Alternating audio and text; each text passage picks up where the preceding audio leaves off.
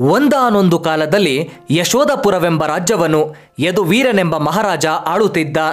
ಅವನು ಅತ್ಯಂತ ದಯಾಶೀಲ, ದಾನಶೀಲ, ಧರ್ಮಶೀಲ, ಗುಣಶೀಲ ಹಾಗೂ ಸತ್ಯಶೀಲನೂ ಆಗಿದ್ದ. ಎಲ್ಲದಕ್ಕಿಂತ ಮಿಗಿಲಾಗಿ ನ್ಯಾಯ ನೀಡುವುದರಲ್ಲಿ ಜಗ ಮೆಚ್ಚುವಂತಹ ಜನ ಒಪ್ಪುವಂತಹ, ಅತ್ಯಂತ ಸೂಕ್ಷ್ಮ ಸಂವೇದನೆಯ, ಸತ್ಯ ಶೋಧನೆಯ ಒಳ್ಳೆಯ ನ್ಯಾಯಾಧೀಶನಾಗಿದ್ದ. ಯಾವುದೇ ವಿಚಾರದಲ್ಲಿ ಇವನಿಟ್ಟ ತೀರ್ಪು ಯಾವತ್ತೂ ಯಾರಿಗೂ ಅನ್ಯಾಯವಾಗುತ್ತಿರಲಿಲ್ಲ.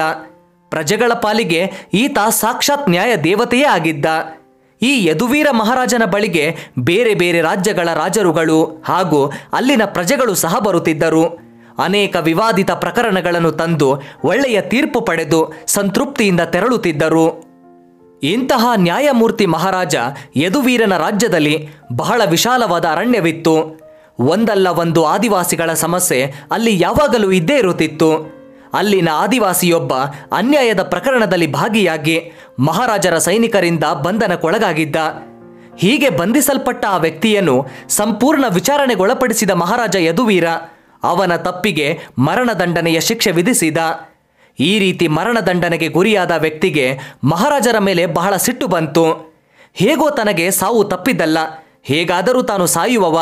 ಎಂಬ ಸತ್ಯ ತಿಳಿದಿದ್ದ ಅವನು, ಒಂದು ಚೂರು ಭಯವಿಲ್ಲದೆ ತನ್ನ ಭಾಷೆಯಲ್ಲಿ ಬಾಯಿಗೆ ಬಂದಂತೆ ಮಹಾರಾಜರನ್ನು ಬಯ್ಯತೊಡಗಿದ್ದ ಆತ ಅಷ್ಟೊಂದು ಬೈಯುತ್ತಿದ್ದರೂ ನಿಂದಿಸುತ್ತಿದ್ದರೂ ಅವನ ಆದಿವಾಸಿ ಭಾಷೆ ಮಹಾರಾಜ ಯದುವೀರನಿಗೆ ಸ್ವಲ್ಪವೂ ಅರ್ಥವಾಗಲಿಲ್ಲ. ಅವನು ಏನು ಹೇಳುತ್ತಿರಬಹುದು? ತಿಳಿದುಕೊಳ್ಳುವ ಕುತೂಹಲದಿಂದ ಆತ ಏನು ಹೇಳುತ್ತಿದ್ದಾನೆ ಎಂದು ಅಲ್ಲೇ ಹತ್ತಿರದಲ್ಲಿದ್ದ ತನ್ನ ಆಸ್ಥಾನದ ಬಹುಭಾಷಾ ವಿದ್ವಾಂಸರನ್ನು ಕೇಳಿದ. ಆ ವಿದ್ವಾಂಸರು ಬಹಳ ಬುದ್ಧಿವಂತರಾಗಿದ್ದರು. ಮಹಾರಾಜರೇ, ತಪ್ಪು ಮಾಡುವುದು ಸಹಜ, ಆದರೆ ಅದನ್ನು ಕ್ಷಮಿಸುವವನೇ ನಿಜವಾದ ಮನುಜ. ಅಂತಹ ಮನುಜನಲ್ಲಿ ಸಾಕ್ಷಾತ್ ಭಗವಂತನೇ ನೆಲೆಸಿರುತ್ತಾನೆ. ಅವನು ದೇವರಿಗೆ ಸದಾ ಹತ್ತಿರವಾಗಿರುತ್ತಾನೆ ಎಂದು ಹೇಳುತ್ತಿದ್ದಾನೆ. ಆದರೆ ಆತ ಹೇಳುತ್ತಿರುವ ರೀತಿ ಮಾತ್ರ ಒರಟಾಗಿದೆಯಷ್ಟೇ ಎಂದು ಹೇಳಿದ್ದ. ಇದನ್ನು ಕೇಳಿ ಮಹಾರಾಜ ಯದುವೀರನಿಗೆ ಬಹಳ ಸಂತೋಷವಾಯಿತು. ತಾನೇ ಮರಣದಂಡನೆ ಶಿಕ್ಷೆ ವಿಧಿಸಿದ್ದ ಆ ಆದಿವಾಸಿ ವ್ಯಕ್ತಿಯನ್ನು ಕೂಡಲೇ ಬಿಟ್ಟು ಬಿಡುವಂತೆ ಸೈನಿಕರಿಗೆ ಆಜ್ಞಾಪಿಸಿದನು. ಅದೊಂದು ದಟ್ಟವಾದ ಕಾಡು. ಎಲ್ಲೆಲ್ಲೂ ಬಿಸಿಲನ್ನೇ ಕಾಣದ ಹಸಿರು ಮರಗಳ ತಣ್ಣನೆಯ ನೆರಳಿನಿಂದ ಕೂಡಿದ ತಂಪನೆಯ ಜಾಗ. ಆ ಅರಣ್ಯದ ನಡುವೆ ಒಂದು ಗುಹೆ ಇತ್ತು. ಅದರಲ್ಲೊಂದು ಮುದಿಸಿಂಹ ವಾಸವಾಗಿತ್ತು. ವಯಸ್ಸಾದರೂ ಅದರ ಗತ್ತು, ಘರ್ಜನೆಗೆ ಕಾಡಿನ ಪ್ರಾಣಿಗಳೆಲ್ಲ ಹೆದರಿ ಗಡಗಡನೆ ನಡುಗುತ್ತಿದ್ದವು.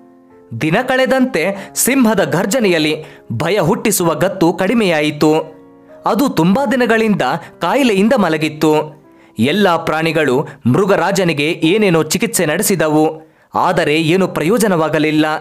ಗುಹೆಯಿಂದ ಹೊರಗೆ ಬರುವುದೇ ಅದಕ್ಕೆ ಪ್ರಯಾಸವಾಯಿತು.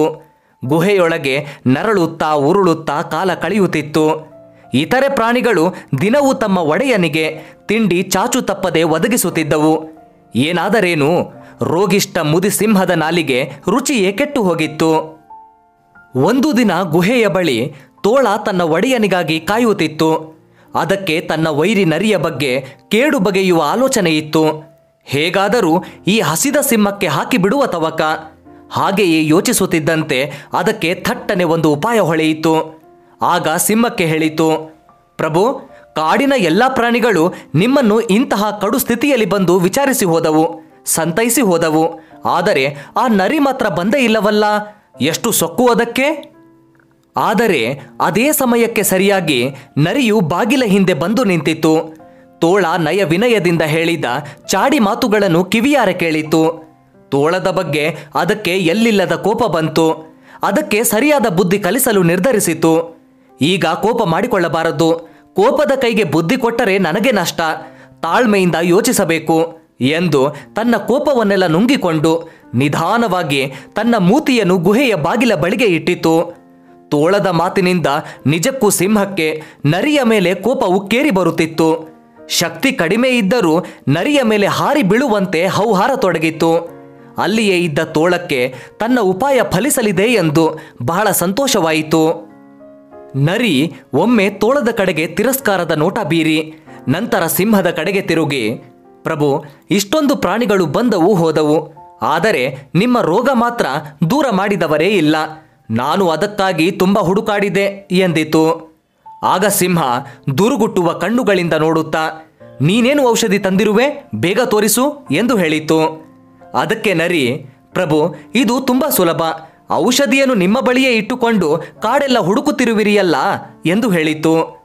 ಏನಂದೆ, ನನ್ನ ರೋಗಕ್ಕೆ ಔಷಧಿ ನನ್ನ ಬಳಿಯೇ ಇದೆಯೇ, ಅದೆಲ್ಲಿದೆ ಹೇಳು, ಬೇಗ ಹೇಳು ಎಂದು ಕೇಳಿತು.